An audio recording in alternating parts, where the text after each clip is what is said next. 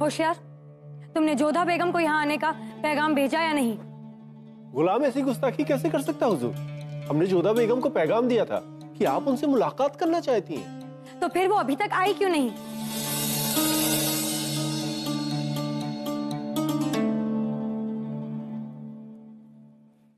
प्रणाम रुकया बेगम। आपने हमें याद किया? हाँ बेगम जोधा आइए तशरीफ़ रखिए। हम आपसे कोई ज़रूरी गुफ्तगू करना चाहते हैं। आइए।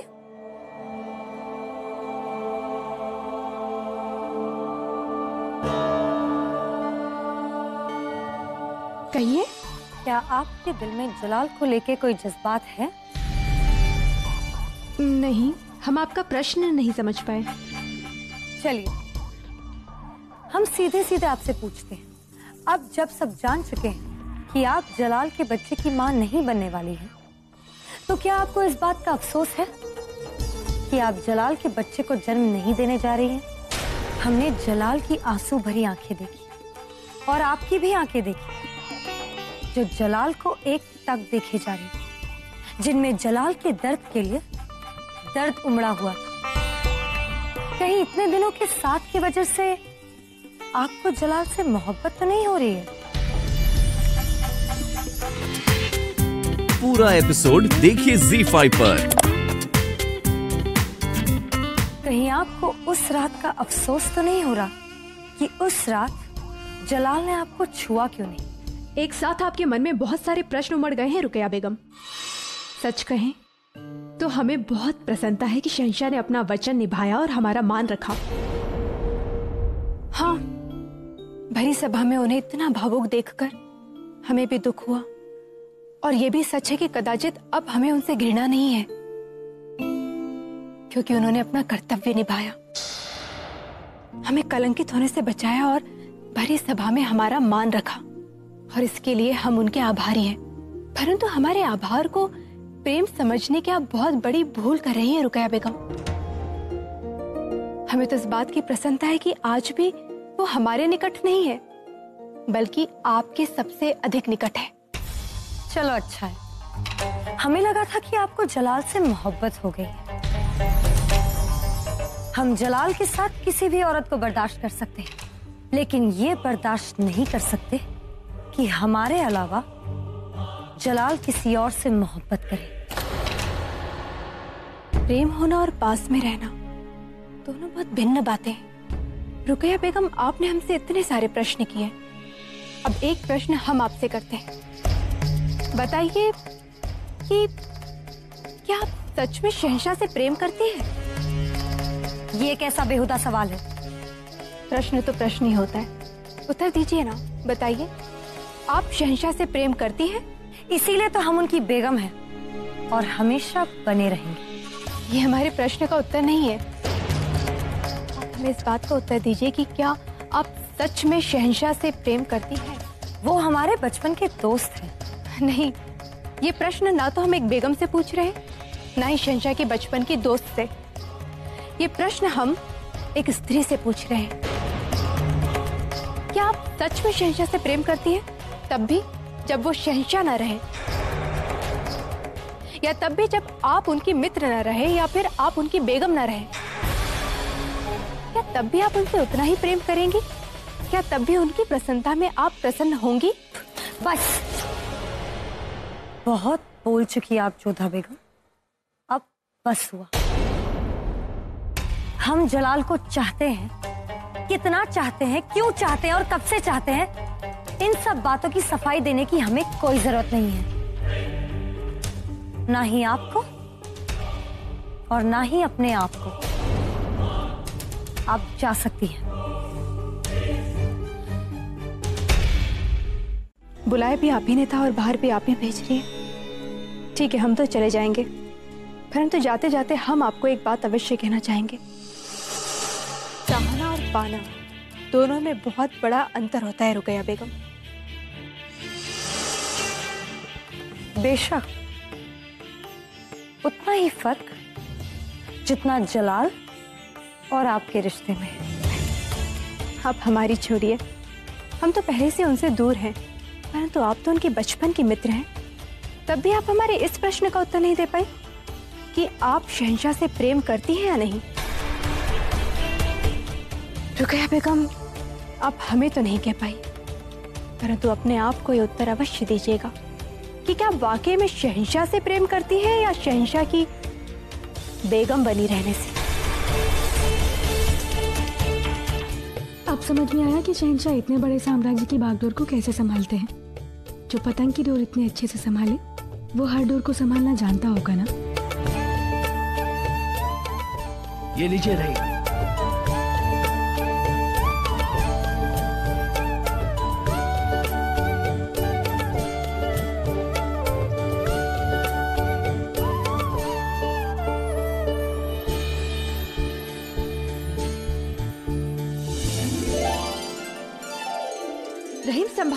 नीचे गिर जाएगी।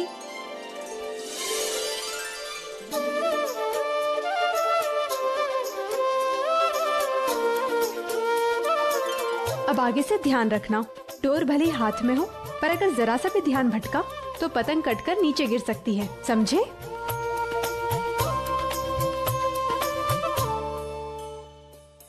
बहुत खूब, जोधा बेगम। हवा का मजाज अच्छे से समझती हैं आप? हमने सुना है कि आप परिंदों को उतना ही चाहती हैं। पर आप क्यों पूछ रहे हैं हमसे ये? बस यूँ ही। सोचा परिंदों को छोड़कर हमारे पास आने का सबब क्या होगा? या फिर आप हमें उनसे ज़्यादा चाहने लगी या फिर आपको हमसे कोई बात करनी है जो आपको हमारे पास आने का बहाना ढूंढना पड़ा? आपके दोनों ही अनुमान ठीक नहीं है। और वैसे भी बेगम है हम आपकी। आपसे बात करने के लिए हमें बहाना ढूँढने की क्या आवश्यकता है? कहिए क्या कहना चाहती हैं आप? हम आपसे कहना चाहते हैं कि बख्शी बानू। बस जोधा बेगम। बख्शी बानो आपके साथ साथ हमारी भी गुनगान है। बताओ शहशाह हमने आपको इसे सजा देने का हुक्म दिया और बतौर भाईजान, हमने खुद भी इसे सजा दी।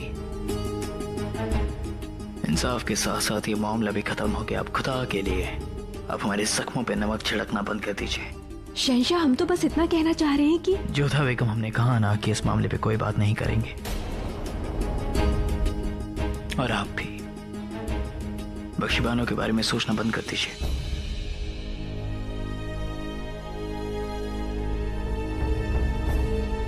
चोटिया में फिर से पतंग नीचे जा रही है।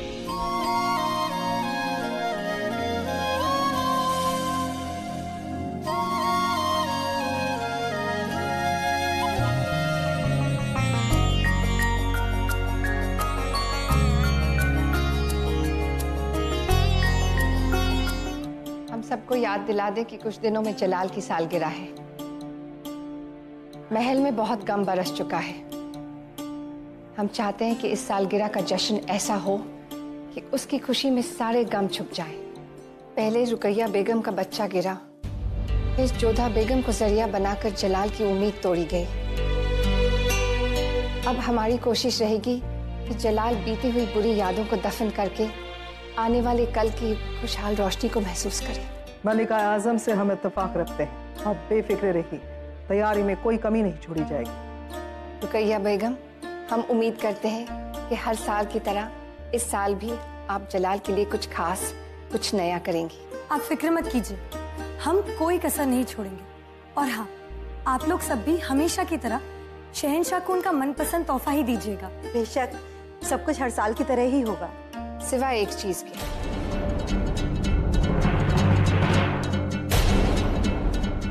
इस साल बख्शी बानो जश्न में शामिल नहीं हों।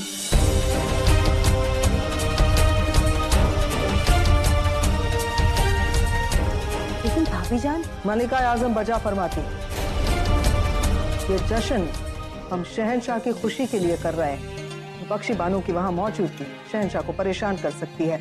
और जितना हम जलाल को जानते हैं वो भी बख्शी बानो को वहाँ पसंद नहीं करेंगे। लेकिन अम्मी जान शहनशाह ने तो बख्शी बानो की सजा माफ़ की है। नहीं सलीमा बेगम।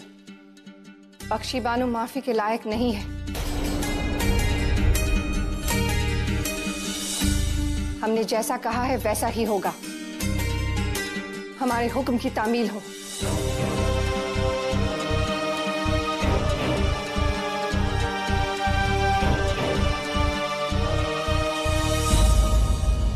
आज़ाद सबके बीच यहाँ कुछ ऐसे हैं जो पहले जंग में जा चुके हैं, जो जंग लड़ चुके हैं, और कुछ ऐसे भी हैं जो पहली बार जंग मैदान में कदम रखेंगे। लेकिन जो एक बात कायम थी, है और हमेशा रहेगी, वो ये, कि आप सब मुगल सल्तनत के सिपाही हैं, जिसने कभी शिकस्त नहीं खाई, और हमें भी हमेशा फतेह चाहिए। इसलिए जो एक सवाल हमारे जहन में है, जो हमें आप सबसे करना है, आज वो हम आपसे करेंगे। कि आप सब के लिए क्या मायने रखता है? जंग में दुश्मन का खून बहाना या मरते दम तक लड़ना? गलत। हमने आप सबकी कुर्बानी कभी नहीं चाहिए अब सबको मुगल सल्तनत की फौज के लिए चुना गया है। उनका तालीम दी गई है, बेहतरीन हथियार दिए गए। हम कभी नहीं चाहेंगे कि आप बेफजूल में अपनी जान खर्च करें। मुगल सल्तनत के किसी भी सिपाही की जान इतनी सस्ती नहीं जो इतनी आसानी से खर्च कर दी जाए। आप सबको मुगल सल्तनत की हिफाजत करनी है उसके दुश्मन से जंग लड़नी। उसके दुश्मन का खून बहाना है। लेकिन हम चाहते हैं कि आप में इतनी समझ हो। ये ज़रूरी भी है बड़ी अम्मी समय समय पर घोड़े की लगाम खींचनी चाहिए। नहीं तो उसे मुकालता हो जाता है कि इसके ऊपर कोई सवार नहीं। बड़ी अम्मी जब सुबह सुबह हम रहीम के साथ पतंग उड़ा रहे थे तब हमें एक बात महसूस हुई। कि पतंग उड़ाते वक्त उसकी डोर हाथों में होने के साथ साथ नज़र उस पर होनी चाहिए। क्योंकि अगर नज़र हटी तो कब उसे कौन काट ले जाएगा पता भी नहीं चलेगा। इसलिए जब तक पतंग शांत से उड़ेगी, लोग आपकी ओर देखेंगे, आपकी वाहवाही करेंगे। लेकिन जैसे ही पतंग कटेगी, जैसे ही आपकी नज़र उस पर से हटेगी, उस गिरती हुई पतंग के साथ साथ लोग आपको गिरी हुई नज़र से देखेंगे। ये मुगल सल्तनत की फौज उसी पतंग की डोर की तरह है, जो हमेशा हमारे हाथों में रहेगी, हमारी नज़र हमेशा इन पर रहेगी। याद आए वो दिन जब आप छोटे थे, इतने से। और अब देखिए, अब बढ़ते दिन आपकी काबिलियत, आपकी शोहरत बढ़ती जा रही फक्र है हमें जलाल आप आए दिन हमें आप पर पहले से ज़्यादा फक्र होता है। हम मानते हैं कि आपके रगों में हमारा खून नहीं है, लेकिन हमारे दूध ने आपको पाला है। फक्र है हमें जलाल कि हम आपकी अम्मी हैं। बड़ी अम्मी, अल्लाह करे। आपका मुस्तकबिल और और रोशन। सब आप ही की मोहब्बत और आप ही की सीख है बड़ी अम्मी। आइए।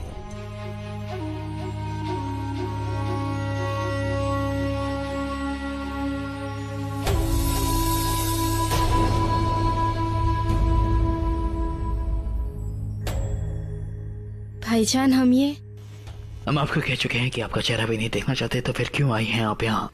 भाईजान हम आपके लिए तोहफा लाए हैं। कुछ नहीं चाहिए हमें। अब पहले ही बहुत कुछ दे चुके हैं हमें। इससे पहले कि हम अपने गुस्से से खुद पर से काबू खो दें, आप चले जाइए यहाँ से। जो कुछ भी आपने किया है, वो गुनाह असीम है। और आज हमारी सालगिरह है। हम नहीं चाहते कि आप हमारे सामने भी आए, इसलिए हम कह रहे हैं, चले जाइए यहाँ से।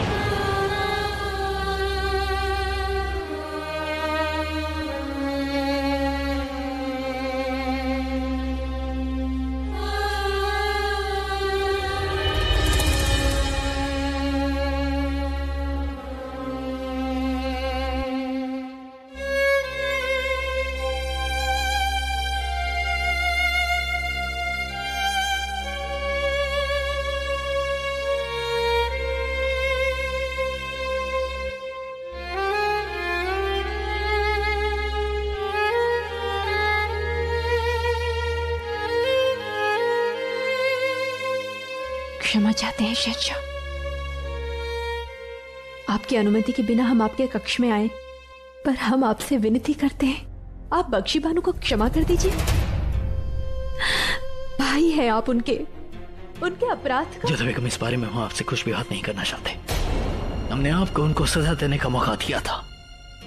अब उस मौके का इस्तेमाल कर चुके हैं। अब ये हमारा साथी मामला है। हम नहीं चाहते कि आप इसमें दखल दें तो बेहतर होगा।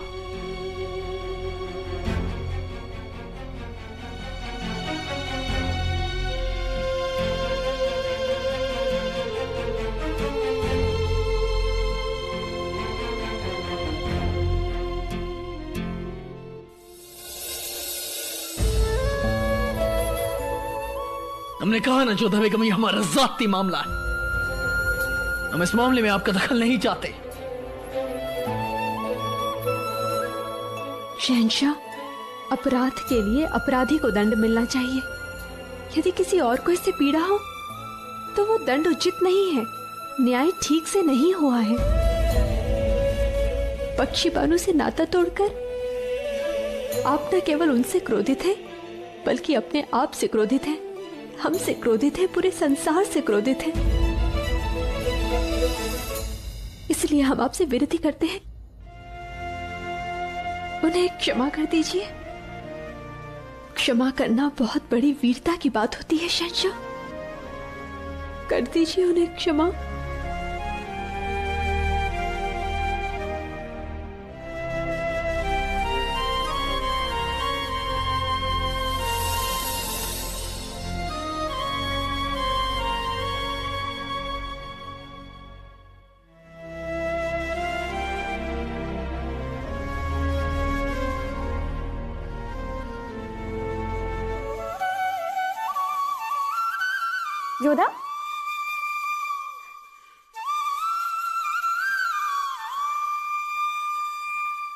पता है जोधा सारे महल में शहनशाह के जन्मदिन के उत्सव का वातावरण है।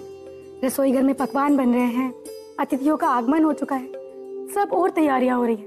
सबको यही सोच रहा है कि शहनशाह को प्रसन्न कैसे किया जाए। मोती हम्म? धनिक इनको तो देख। कान्हा की मूर्ति? मूर्ति नहीं। ये बांसुरी और मोरपंख। जो शहनशाह ने हमारे जन्मदिन पर हमें भेंट में दिए थे। सबसे अधिक उन्होंने हम पर विश्वास किया। सबके सामने हमारा मान भी रखा। मोती, हम कब से सोच रहे हैं कि शहनशाह के जन्मदिन पर हम उन्हें कोई ऐसी भेंट दें जो जीवन भर उन्हें स्मरण रहे? पर हम समझ ही नहीं पा रहे कि ऐसा क्या दे। सब कुछ तो है उनके पास। सर्व साधन, सर्व शक्ति। महामंगा जी रुकया बेगम भी उन्हें कोई ना कोई अनमोल भेंट ही देंगे। रियासत के सभी राजा और कई सारे सूबेदार भी उन्हें बहुत सारी भेंटें देंगे। ऐसे में हम उन्हें ऐसा क्या दें? जो उन्हें जीवन भर स्मरण रहे। परंतु जोधा कुछ तो देना ही होगा ना? और हम चाहते हैं कि हमारी सखी ऐसी भेंट दे जो सबसे अमूल्य हो, सबसे हटकर। अब हमारी बुद्धि तो छोटी है जोधा। तुम ही कुछ सोचो ना।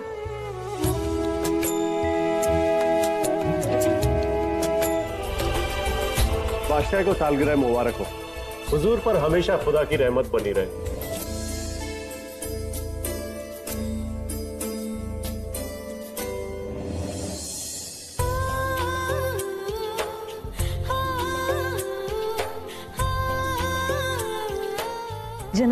बहुत बहुत मुबारक हो जलाल। शुक्रिया। असाल की तरह तुम हमारा जन्मदिन नहीं बोली और हम अपनी रस्म नहीं बोले। हम सबसे पहले तुम्हारे पास आए रुके। तुमने हमें मुबारकबाद तो दे दी बताइए हमारा तोहफा कहाँ है? तोहफा लाने में हमने बहुत मेहनत की है। तो उसे पाने में आपको भी थोड़ी जहमत करनी होगी शहनशाह। क्या करना होगा हमें? वही जो आपको बेहद पसंद है। पहेलियाँ बूझनी होगी और कुछ पहेलियाँ बूझने के बाद आप तोहफे तक पहुँच जाएँगे। हर एक पहेली आपको एक सीढ़ी ऊपर ले जाएगी। सीधे सीधे हमें तोहफा क्यों नहीं दे देती? क्योंकि मेहनत करने के बाद तोहफा मिलने की जो खुशी होगी वो बेहद ही कीमती होगी।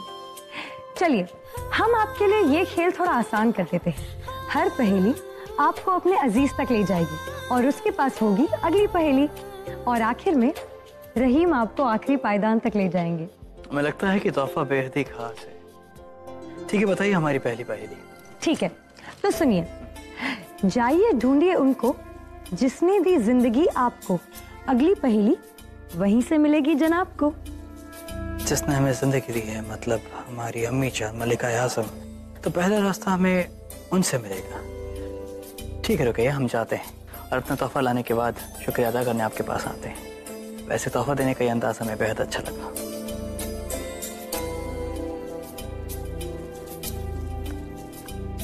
लीजिए। शहनशाह ने तो चुटकी में पहली पहेली सुलझा दी। हमने बनाई ऐसी थी क्योंकि हम चाहते हैं जलाल जल्द से जल्द हमारे तोहफे तक पहुँचे।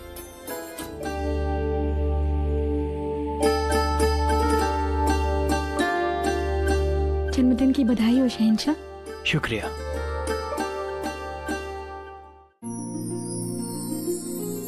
क्या आप हमें हमारी जन्मदिन की मुबारकबाद नहीं देंगे? बधाई हो। सिर्फ़ बधाई की उम्मीद नहीं थी। अब हमें हमारा तोहफा देंगे या आप भी कोई पहेली बताएँगे? क्या सोच रहे हैं जोधा बेगम बताइए। हमारे जन्मदिन का तोहफा पाने के लिए हमें क्या करना होगा कहाँ जाना होगा? अगली पहेली क्या है या फिर अगला निशान क्या है? कैसी पहेली? ना हमारे पास कोई पहेली है और ना ही कोई संकेत। क्या वाकई इन्हें कुछ नहीं मालूम या ये हमारे साथ मज़ाक कर रही है? शहनशाह हमारी पूजा अधूरी रह गई है। यदि आपकी आज्ञा है तो पूरी कर ले।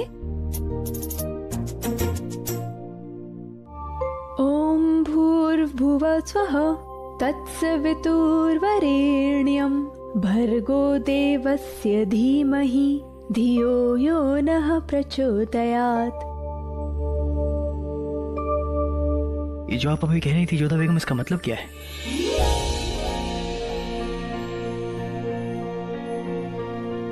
ऐसे क्यों देख रहे हैं आप हमें? हम तो बस जानना चाहते थे कि आप क्या कह रही हैं। हमारा तोहफा तो तैयार है आप खामा खा इनकार कर रही थी। देखे तो सही क्या है।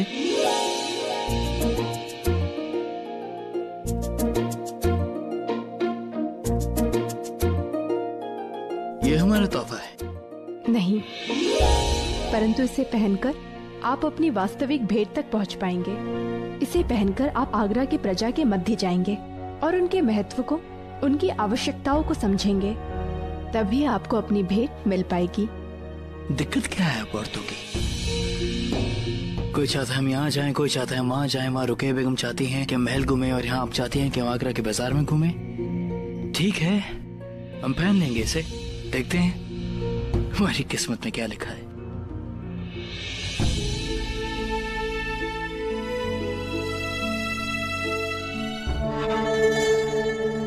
तस्नीम। अरे आप आदाब। आइए ना। बहुत अच्छे बर्तन बनाती हो। शुक्रिया। आइए अंदर आइए।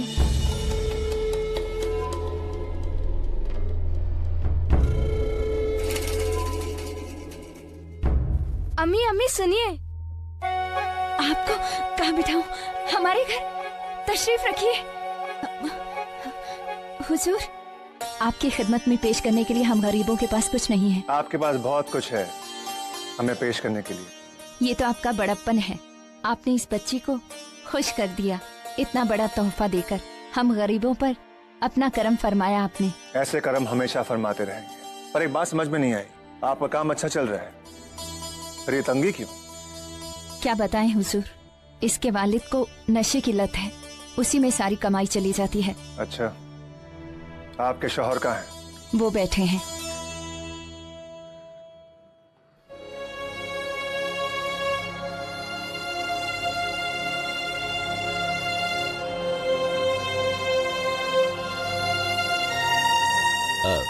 बैठिए हुजूर।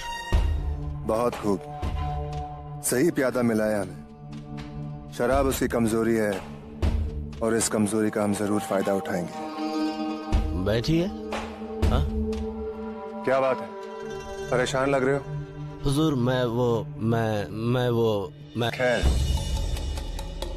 हमारे पास आपकी हर मुश्किल का इलाज है।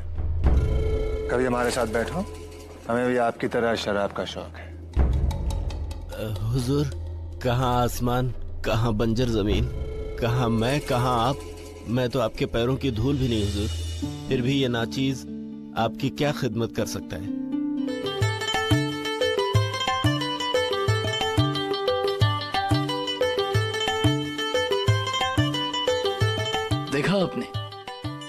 अब राजा चंद्रगुप्त की बात कर रही थी लेकिन हमारे आगरा में लोग उतने ही खुश हैं।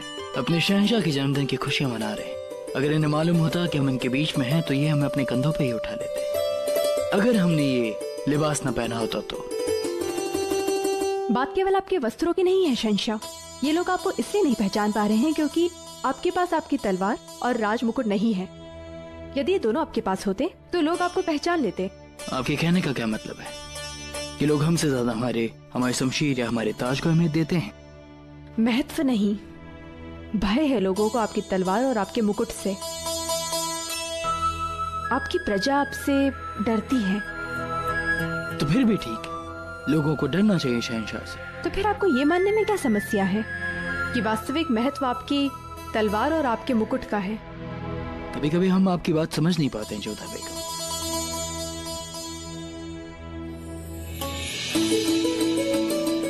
अरे शहनशाह आप हमारे गाँव में भेस बदलकर सालगिरह मुबारक हो शहनशाह। अरे चलो भाई चलो। शहनशाह हमारे गाँव में आए हैं। शहनशाह आए हुए हैं। देखा आपने जोधा बेगम इन्होंने हमें बिना लिबास के पहचान दिया। आप वही देख रहे हैं जो आपको प्रत्यक्ष दिख रहा है। आप वो नहीं समझ पा रहे हैं जो इनके मन में छिपा हुआ है। आपके प्रति भय। शहनशाह जलालुद्दीन। जिंदाबाद जिंदाबाद। शहनशाह जलालुद्दीन। जिंदाबाद जिंदाबाद। अब क्या कहेंगे आप जोधा बेगम? देखिए ये लोग कितने खुश हैं। अब यदि आप अपनी आत्म प्रशंसा में लगे रहेंगे तो भेंट पाने में विलंब हो जाएगा। अब चलें? चलिए जोधा बेगम बहुत प्यास लगी। आपको तो अभी प्यास लग रही है परंतु इनकी तो सबसे बड़ी समस्या ही प्यास है। कुछ समझे नहीं। समझ जाएँगे। तनिक इनसे बात तो कीजिए। कि ये भी हमारे तोहफे तक पहुँचने की कोई पहेली है। यही समझ लीजिए। आपके शहंशाह आपके सामने खड़े हैं। आप इनको बधाइयाँ दे सकते हैं। सलाम सलाम शहनशाह। सालगिरह मुबारक हो। अल्लाह आपको लंबी उम्र दे। शहनशाह जलालुद्दीन। जिंदाबाद जिंदाबाद जिंदाबाद जिंदाबाद जिंदाबाद जिंदाबाद। हमें जोधा बेगम ने बताया कि आपको किसी किस्म की दिक्कत है। बताइए आपकी ज़रूरत क्या है? पानी। पानी हुजूर। हमारे इलाके में पानी की बहुत किल्लत है शहनशाह।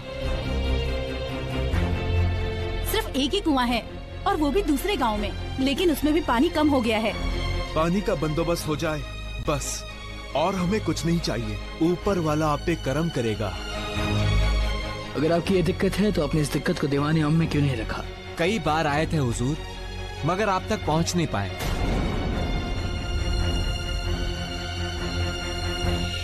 और शाम तक आपके गाँव में कुआ खुद जाएगा हम आपको ज़ुबान देते हैं कि आज के बाद आपको किसी किस्म की कोई तकलीफ़ नहीं होगी।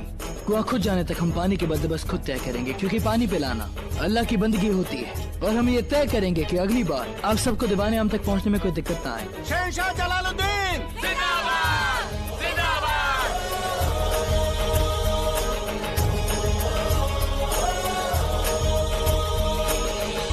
अब तो बता दीजिए हमारा तोहफा कहाँ है। धीरज रखिए। आपकी भेंट है। आपके जन्मोत्सव से पहले आपको मिल जाएगी। परंतु उससे पहले आपको रुकैया बेगम की पहली सुलझाना है। उनका अधिकार पहले है तो उनकी भेंट आपको पहले मिलनी चाहिए। पर हमें प्रसन्नता हुई कि आज आपने अपनी प्रजा को भेंट दी। खजूर की गुठली? खजूर तो रहीम को बहुत पसंद है।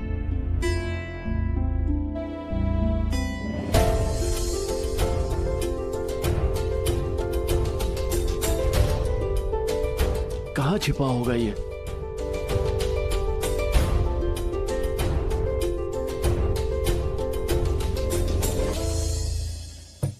अच्छा तो आप यहाँ छुप कर बैठे हैं और पूरे हरम में आपको ढूंढा जा रहा है।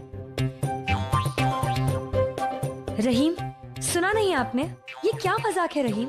वहाँ हरम में आपको ढूंढा जा रहा है और आप यहाँ बैठे बैठे खजूर खा रहे हैं? खजूर बहुत मीठी है अम्मी जान। अच्छा खजूर का मीठापन आपको याद है? लेकिन जो हमने आपसे कहा था वो याद नहीं है। आपने क्या कहा था? हम भूल गए। ठीक है। लगता है सलीमा बेगम को बताना पड़ेगा। बहुत खुशी होगी उन्हें कि हमने जो आपको काम दिया था वो आप भूल गए। यहाँ बैठे बैठे छिप कर खजूर खा रहे हैं। आप रुकिए हम अभी जाकर बताते हैं। हमारी रुके अम्मी जान हमारी दोनों के बीच की बात है ना? अम्मी जान को बीच में क्यों लाना? तो बताइए आपने शहनशाह को कहाँ भेजा है? आपने जहाँ कहा था वो पूरा एपिसोड देखिए जी फाइव पर।